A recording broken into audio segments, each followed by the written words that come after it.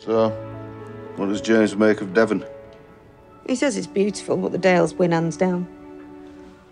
Oh, you're a godsend. I can't tell you how much better that feels already.